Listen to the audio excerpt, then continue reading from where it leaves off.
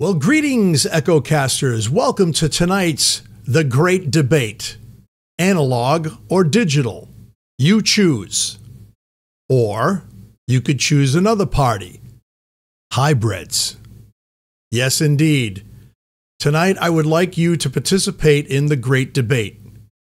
I would like you in the comments tell me how you feel about analog, digital, or hybrids. Do you like all of them? Do you fancy one of them in particular?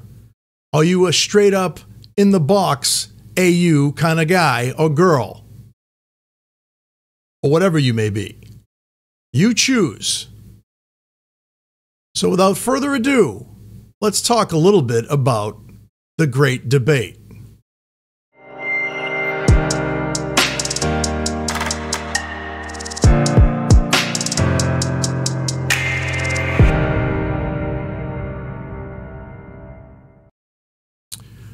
All right. So some people prefer analog over digital. Some people prefer digital over analog. And with the new uprising of hybrid synthesizers, that's a little interesting. It's going to get interesting. I used to be an analog guy, wouldn't use anything but. Then I went from that to being a digital guy. And ended up buying back analog stuff because digital was cool, but it didn't have that warmth and that grit that I got out of my Juno 106. Then I decided to mix and match.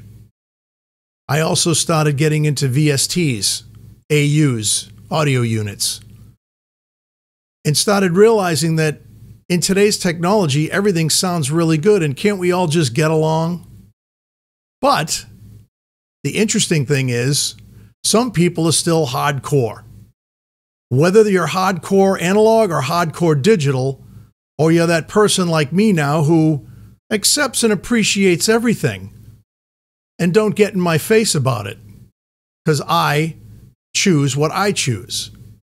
So, Tonight's great debate is up to you. I would love to see what you guys say in the comments and what you use and what you think sounds good. So, without further ado, let's get to the debate. And I hope this uh, carries through and everybody enjoys themselves. And again, thanks for subscribing and thanks for watching.